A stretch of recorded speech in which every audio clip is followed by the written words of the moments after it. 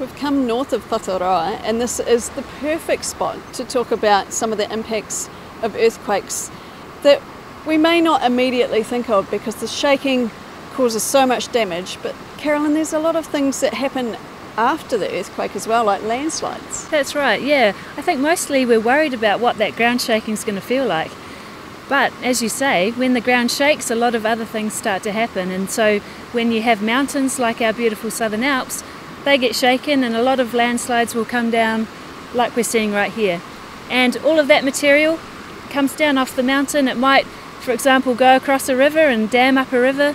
Uh, so you have to be aware of that if you live in these sorts of places.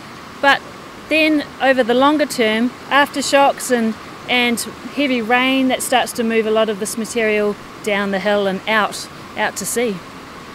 So, talking about all that material, and you can see a fair bit of it here, that must impact the rivers for a long time.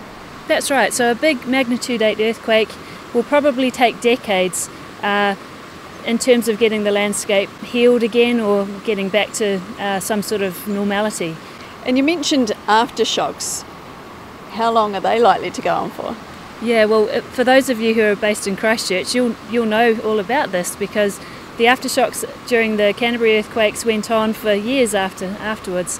And for a big magnitude 8 earthquake, we would uh, suspect that aftershocks will carry on again for years and years afterwards. It might be up to 10 or 15 years of aftershock activity related to that main event. So it's certainly a lot to think about the impacts on the people and the environment. Lots to consider. Thanks, Carolyn. Thank you.